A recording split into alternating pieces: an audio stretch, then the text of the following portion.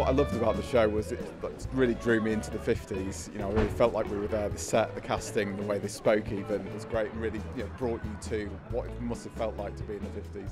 Yeah, the set was lovely. It reminded me of uh, growing up, a bit nostalgic. Thoroughly enjoyed it and a nice little twist the way it changed the whole mood. It was sort of quite mind-boggling and really sort of brought to life today and what it was like in the 50s. I thought the show was amazing. I think it's a lovely love story, and that in the face of like the adversities that people have. The mother's monologue was really thought-provoking because uh, you know we grew up in the 50s, just struck home, and, and it was like the dark to the, the light. Oh, I loved it, especially the dancing between every scene, and the music was great. It was really good. It really put you in a good mood.